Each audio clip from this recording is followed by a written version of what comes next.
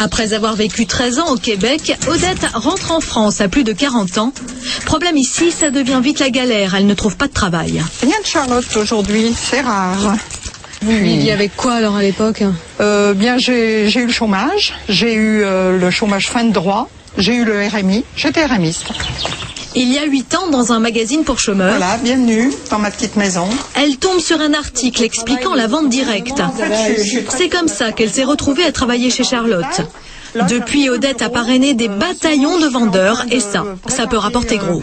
Euh, mon stock, euh, Quand une vendeuse travaille seule, elle touche simplement un pourcentage sur ses ventes. Si elle en parraine d'autres, ses revenus seront plus importants parce que l'entreprise va lui verser une commission sur les ventes de chacun de ses filleuls. Si les filleuls parrainent à leur tour de nouveaux vendeurs, les commissions se multiplient.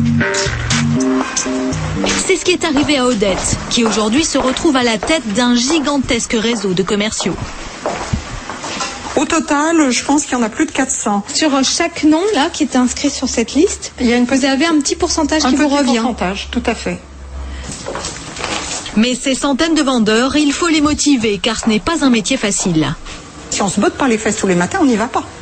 Euh, D'ailleurs, on a une maladie qui est très connue dans ce métier, c'est la maladie de l'excusite. Il fait trop beau, on va pas travailler. Il fait froid, on va pas travailler. Euh, les enfants ont ceci, on va pas travailler. On a toujours une excuse, c'est la maladie de l'excusite.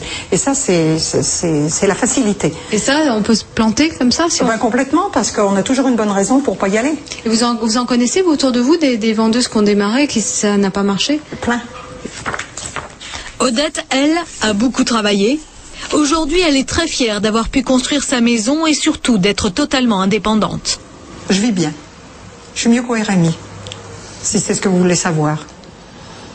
En moyenne, Odette gagne jusqu'à 8400 euros net par mois.